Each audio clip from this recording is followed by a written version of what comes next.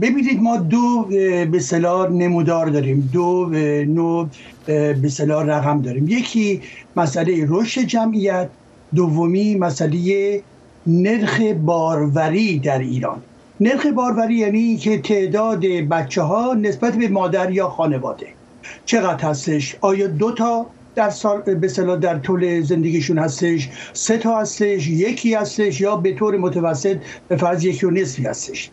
که این رقم در ایران روی یک ممیز شیش هستش که این البته افت کرده در سالهای اخیر.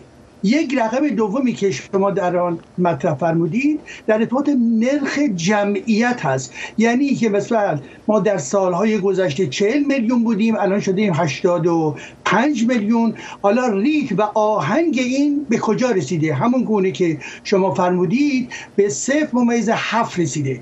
و بنابراین این به این معنا هستش که بله جمعیت داره رشد می‌کنه ولی دیگر آهنگش مانند گذشته نیست. زیرا تعداد بچههایی که در خانه خانواده متولد میشن اون افت کرده و بنابراین رشد جمعیت هم در واقع آهنگش به کندی کشیده شده است. و این به این معنا هست که در واقع جامعه وقتی ما از جمعیت صحبت می‌کنیم مدیریت کلان یک کشور هستش. هم از جنبه کمی یعنی تعداد جمعیت و هم از جنبه کیفی یعنی مسئله مربوط به بهداشت زندگی آرام مردم و شرایط خانوادگی و غیر و غیره هستش. بنابراین در شرایط ایران امروز ما الان در ارتباط با این افتی که می‌بینیم افت نرخ جمعیت حالتی هستش که در کشورهای دیگه مانند عربستان در اونجا سه و دو هستش. یعنی بله. ما بسیار فاصله داریم. یا در ترکیه یک و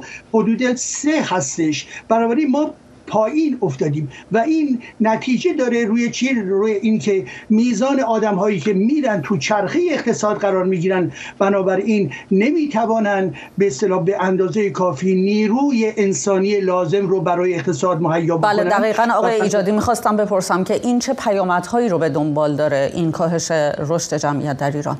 ببینید یک کشور یعنی منابع طبیعی یعنی منابع انسانی. منابع انسانیش یعنی همین مسئله رشد جمعیت. زمانی که ما مسئله جمعیت رو نگاه می‌کنیم باید نگاه بکنیم که تاثیر این وقایع کنونی روی 20 سال 25 سال دیگه چگونه هستش؟ و بنابراین بسیار وخیم خواهد بود زیرا جامعه با لیاقت ها و در واقع شایستگی های شغلی لازم و از نظر توانایی های سنی نمی‌تواند از به تمام شرایط لازم برخوردار باشه و این هم به یکی دیگر از این بحرانهای کلان کشوری تبدیل خواهد شد.